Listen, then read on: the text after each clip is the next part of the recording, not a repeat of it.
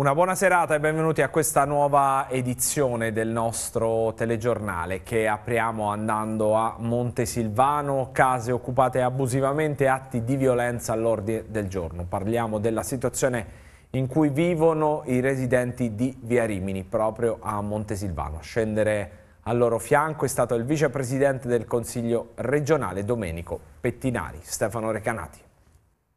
qui è invivibile, c'è gente sia cattiva ma anche comunque onesta che va lavorando, mettere la musica a palla alle 2, alle 3 di notte immagino che chi lavora alle 5 del mattino che si alza è difficoltoso. Sono disperati i residenti di via Rimini a Montesilvano, una zona classificabile come quella del ferro di cavallo di Pescara. Come testimoniano le immagini, all'interno degli alloggi ADER è possibile trovare allacci abusivi alle utenze e sporcizia. Inoltre nel quartiere ci si può imbattere con cani, anche di grossa taglia, senza guinzaglio che terrorizzano i passanti, mentre in passato non sono mancati nemmeno atti di violenza. Purtroppo con questa gente non ci si può parlare perché io eh, ci ho parlato varie volte per il cane, perché io comunque faccio parte dell'animalista, sono. Eh, ho cercato di parlare ma invece sono stato mandato solo all'ospedale. A denunciare la situazione Domenico Pettinari. Il consigliere regionale Pentastellato chiede l'intervento di Regione Abruzzo e del comune di Montesilvano. Non c'è più tempo da perdere, andremo adesso a verificare questi alloggi abusivi, andremo a verificare gli allacci abusivi alle utenze, come rubano la corrente e poi i cittadini onesti sono anche costretti a pagare le utenze per loro e per gli altri. Quindi l'appello che faccio forte al sindaco di Montesilvano, al presidente di Regione Abruzzo, perché qui ci serve un servizio servizio di videosorveglianza che funzioni perché vedremo anche telecamere completamente rotte e sfasciate, serve sicuramente unità fissa di polizia H24 che possa garantire la sicurezza ai posti e poi una grande opera di bonifica, di pulizia perché veramente c'è di tutto e più. È iniziato ieri il Festival Borgo Universo ad Aielli, tre giorni dedicati alla cultura palestinese, presente all'inaugurazione l'ambasciatrice della Palestina in Italia, con lei anche gli ambasciatori di Iraq e Yemen.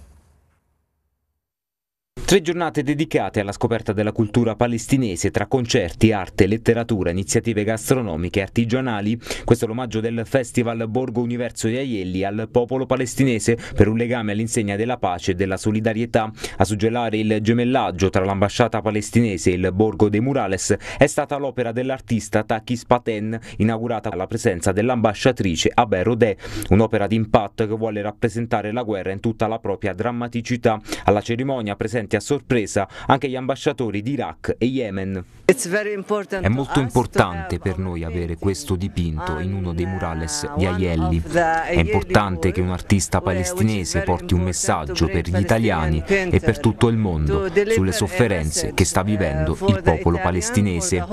È un messaggio affinché tutto il mondo si attivi per i diritti dei palestinesi. Voglio ringraziare Aielli e il sindaco Enzo Di Natale e tutti gli italiani per supportare il nostro popolo. Gli italiani sono uno dei popoli che non hanno mai dimenticato la Palestina e vorrei dire a tutti di continuare a supportarci. Un'opera di impatto che vuole lanciare un messaggio forte, un messaggio di solidarietà al popolo palestinese, un'opera d'arte che suggella anche il gemellaggio tra Ielli e la comunità palestinese. Questo è il murales che di fatto suggella appunto il nostro rapporto che è nato l'anno scorso e che è arrivato ad essere un rapporto veramente di amicizia che va oltre i formalismi. L'opera d'arte in sé recupera quella che è il significato della street art perché vuole essere un messaggio forte di protesta, di protesta contro le guerre, contro tutte le guerre, tutte le guerre di occupazione a favore dei popoli che soffrono le occupazioni e che vivono nei territori occupati. Gaza, la Palestina forse sono l'emblema e il simbolo dei territori occupati nel mondo. Saranno i tre giorni di Borgo Universo dedicati alla cultura palestinese e quindi ci sarà possibilità di mangiare eh, cibo palestinese preparato da chef palestinesi, mostre, reading poetici, proiezioni di film e musica palestinese eh, realizzata eh, cantata e suonata da artisti palestinesi.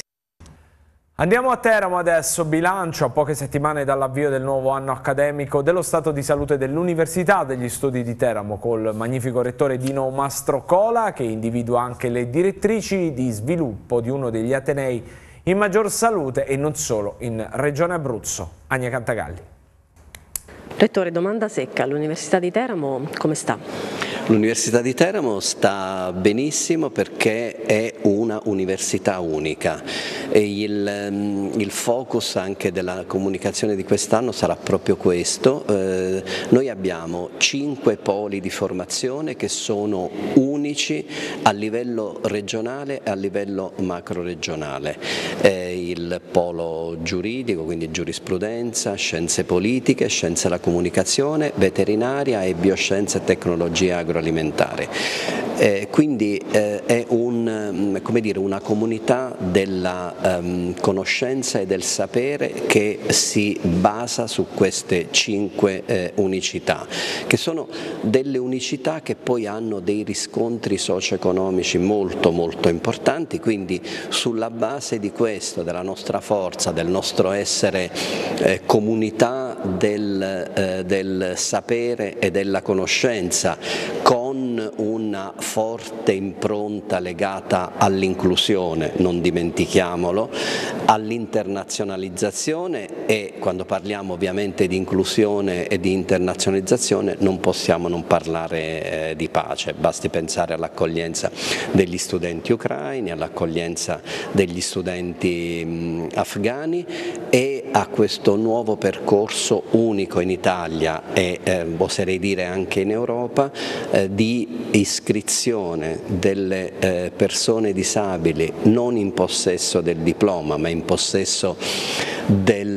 ehm, dell'attestato di frequenza delle superiori che si possono iscrivere a determinati corsi di laurea per conseguire un attestato di frequenza eh, di un percorso universitario. Quindi eh, inclusione, sostenibilità, pace e anche dal punto di vista strutturale cresciamo e eh, entro la fine del 22 avremo degli elementi fondamentali quindi legati proprio al, al lancio della, ehm, del bando europeo proprio per, per ehm, dire, le strutture, quindi la, la, posa delle prime pietre, ma ehm, quindi vedremo, vedremo eh, qualcosa di concreto. Quindi continuiamo a crescere, ma continua a crescere l'entusiasmo e devo dire continua a crescere l'attenzione del territorio, inteso non solo come Abruzzo, non solo come Italia, ma eh, come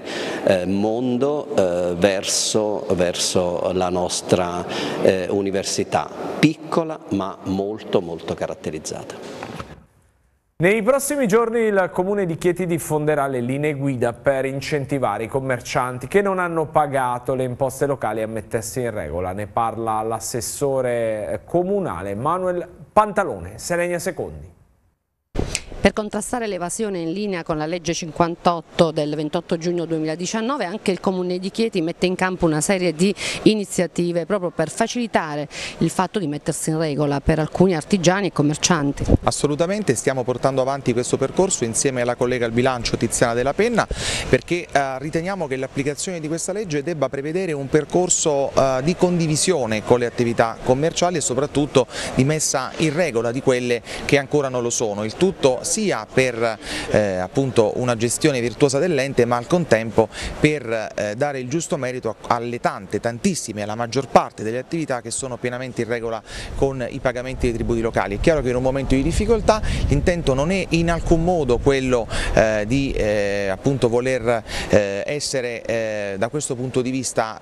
rigidi nella appunto quello che poi sarebbe dovuto dalle attività commerciali ma c'è la volontà di consentire loro di mettersi in regola anche alla luce ovviamente di una normativa alla quale poi subordineremo il rilascio o il rinnovo delle licenze. In un momento di difficoltà così forte per le attività commerciali come si può coniugare questo con il fatto di mettersi in regola? Con linee guida inclusive che consentano alle attività commerciali che lo vogliono fare ma che come ben ricordava non hanno la possibilità perché il momento è un momento particolarmente eh, eh, difficile per un contesto congiunturale che noi combattiamo quotidianamente con le tante iniziative che stanno portando gente in città, ecco però per consentire loro di mettersi in regola, perché tutte vogliono mettersi in regola, beh, dobbiamo anche creare dei percorsi che possono facilitare questo processo. Ed insieme alla collega al bilancio e con il mio assessorato abbiamo veramente studiato un percorso che eh, renderemo noto nel corso dei prossimi giorni e che avrà questo intento, da una parte consentire l'attività di mettersi in regola, dall'altra comunque eh, insomma, per un ente il pagamento eh, dei tributi locali è, è qualcosa di fondamentale oltre che in materia di gestione virtuosa dell'ente ma anche ovviamente nel pieno rispetto di quelle che sono le normative. E veniamo come di consueto alla pagina Covid eh, in Abruzzo. Sono 1868 i nuovi casi positivi accertati nelle ultime 24 ore nella nostra regione, frutto di 1607 tamponi molecolari e 7695 test antigenici. Il bilancio delle vittime registra tre nuovi deceduti, di cui uno risalente ai giorni scorsi. 1377 invece sono i guariti, 280 sono eh, ricoverati in ospedale in area medica con un incremento di 7 unità e 10 in terapia intensiva, numero questo invariato rispetto a ieri. Vediamo le variazioni rispetto a ieri, sempre provincia per provincia, 274 contagi in più in provincia dell'Aquila, 551 in provincia di Chieti, 497 in provincia di Pescara, 392 in provincia di Teramo, 56 sono residenti fuori regione e 98 per i quali sono in corso verifiche sulla provenienza. Cambiamo argomento adesso, da domani a Castelli si svolgerà la rassegna Residenza d'Artista, il cui programma è stato svelato dal direttore artistico Eleonora Coccagna. È un progetto che è partito l'anno scorso e che vogliamo prosegua nei prossimi anni perché si tratta proprio di un processo di rigenerazione sociale e culturale del borgo e quindi nasce nella comunità di Castelli. Eh, Quest'anno partiamo il 31 luglio con delle residenze artistiche, quindi avremo eh, Davide Rasetti, giovanissimo teramano, musicista, compositore e polistrumentista, che porterà un lavoro eh, per la creazione di un soundscape che poi potrà essere utilizzato anche per l'avvenire per vivere Castelli, per vivere questo borgo. E con Arti e Spettacolo, che invece è una realtà consolidata aquilana, che già l'anno scorso ha dato prova di aver giustamente interpretato quello che è il sapore di, questa, di questo progetto, cioè ovvero quello proprio di interpretare eh, il, la memoria di Castelli affinché non vada persa e, e affinché possa, essere, anche, possa avere un sapore più attuale, più vicino alle nuove generazioni. E, e poi c'è la proiezione del cortometraggio Ratafia che è stato ehm, diciamo, registrato durante la residenza artistica dell'anno scorso ed è stato poi elaborato durante tutto l'anno e anche lì è una nuova interpretazione di questa storia che eh, è ormai un binomio imprescindibile di questo borgo, eh, quindi la storia della ceramica e tutte le fasi della produzione reinterpretate attraverso corpi, suoni e parole. Eh, questo progetto poi naturalmente continuerà a settembre, quindi ehm, ci saranno i laboratori urbani di comunità eh, che vengono aperti, inaugurati, eh, aprirà i lavori eh, Lucio Argano, uno dei più grandi esponenti della progettazione culturale delle città italiane e, e poi proseguirà, con, proseguirà contestualmente, ci sarà una raccolta fondi proprio perché ci apriamo già il 2023. Quindi sono tante iniziative che vogliono eh, in qualche modo coinvolgere le comunità eh, del territorio, le varie comunità del territorio, ma anche andando in maniera più allargata su tutta la regione perché pensiamo che Castelli sia un simbolo per l'intero territorio abruzzese e non solo, sappiamo quali sono stati i suoi fasti e vorremmo quindi proiettarci verso il futuro con una rigenerata immagine del borgo.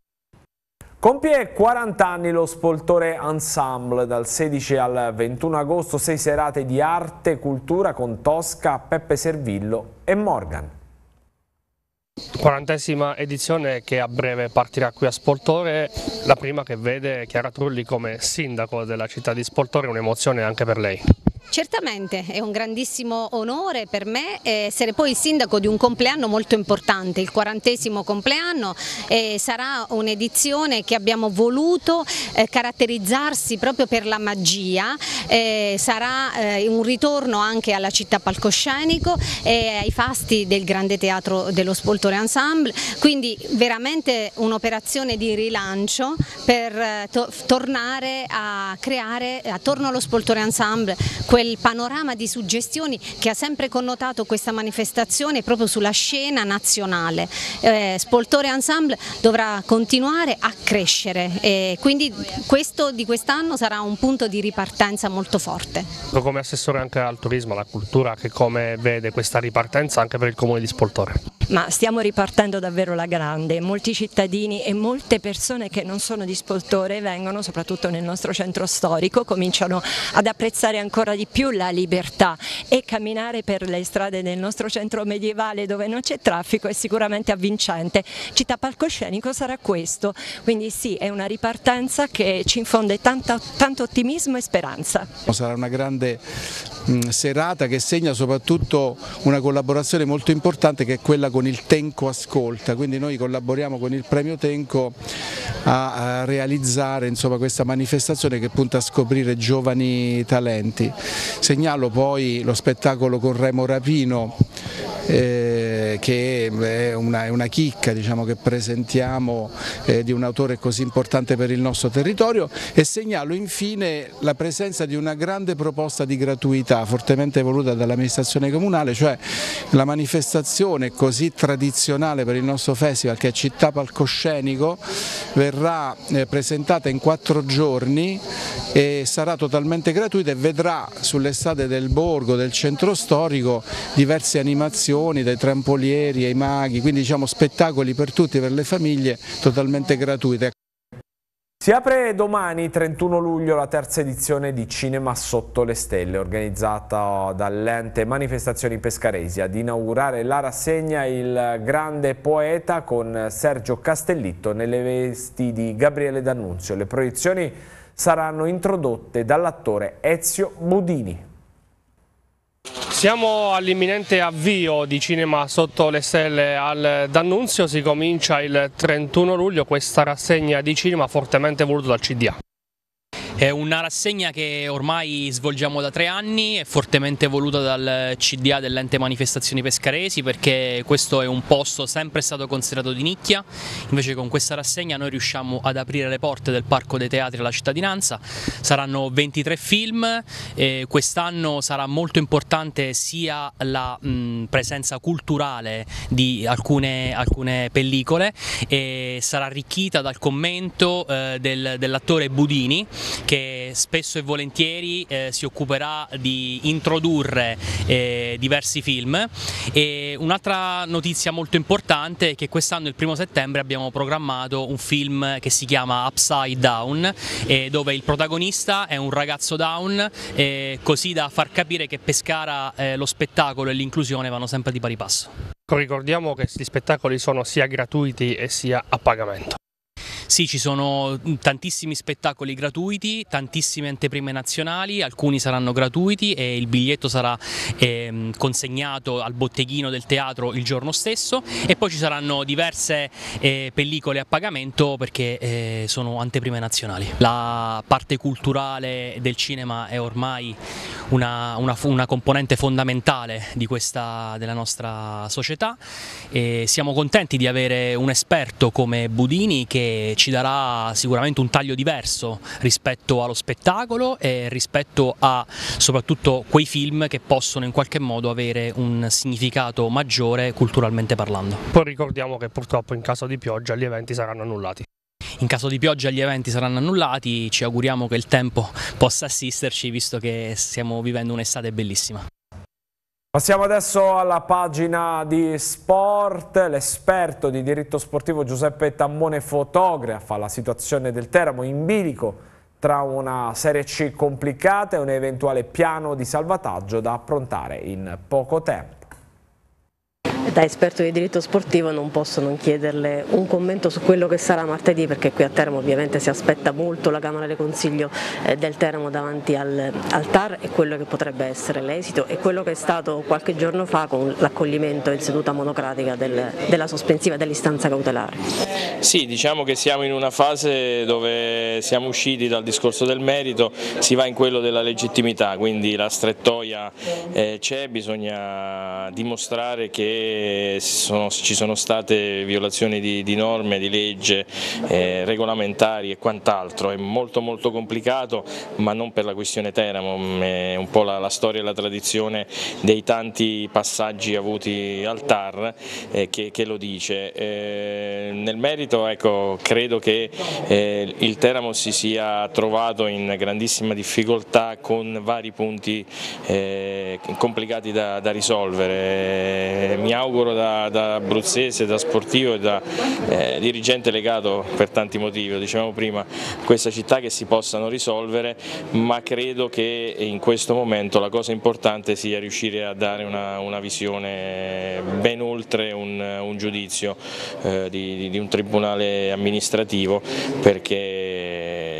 calcio ha bisogno di, di, tante cose, sì in questo momento il lascia passare del Tribunale, ma credo che abbia bisogno di, di un progetto vivo, concreto e soprattutto sostenibile perché credo che per, per continuare con questo Teramo ci vogliano eh, risorse importanti e bisognerà eh, essere, essere, molto solidi e lucidi per poter ripartire, eh, altrimenti le, le norme pre, prevedono e consentono una ripartenza a un gradino più basso eh, senza problematiche di debiti, con una società completamente nuova che non ha nulla a che fare con le precedenti degli ultimi cinque anni, quindi l'alternativa è quella di eh, ripartire con un percorso, forse con un nome diverso, ma si potrà sempre tornare a quello originario entro un paio di stagioni. Tramite un bando del sindaco che sembra essere in cottura.